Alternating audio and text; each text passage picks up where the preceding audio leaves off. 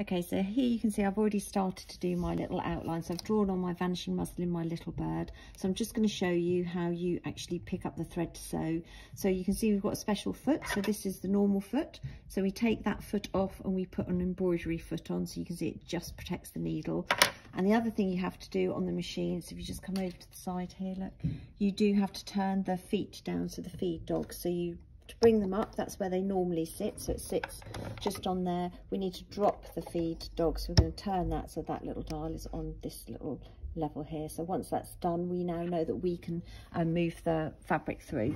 So to pick it up we're just going to hold on to the top thread. You're going to turn the hand wheel down and you're going to bring it back up. So just like when we do the bobbin and then we're just going to pull that up and you should see that bobbin loop come up. So just going to bring that bobbin thread to the top. So there we've got both threads. You have to start with both threads on the top. You then start i'd advise you to start with your needle down. You then have to lower the presser foot like normal. So again lower it just as if you were going to sew like normal. But because you've lowered the feed dogs those ones underneath here when you put your foot down on the sewing machine, it's not going to move it. Normally, when you sew, the machine takes it through for you. We've disengaged those dog feeds, feeder dogs there, so it's not going to do that. So now you have the freedom to do free embroidery. It's in a frame, you have it nice and taut, and you literally just start sewing. So hopefully this will work.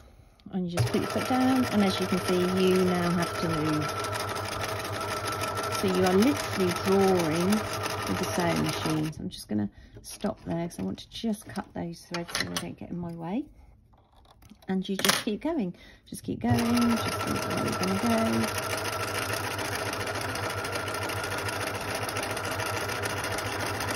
So you are moving it as you go round. So I'm just going to edge him. And finish his wing off up here. And follow it round. So you can see you're just literally drawing the sewing machine. Now with the free embroidery, I'm doing this, you can do this on ordinary fabric, but I am doing it on vanishing fabric. So when we finish, this is literally going to wash away. So at the moment, if I wash this away, this whole thing would fall apart because you do need to interconnect it. So I am going to keep filling it in, but this is free embroidery so if you did this on ordinary fabric this would be fine. That doesn't disappear when you wash it away.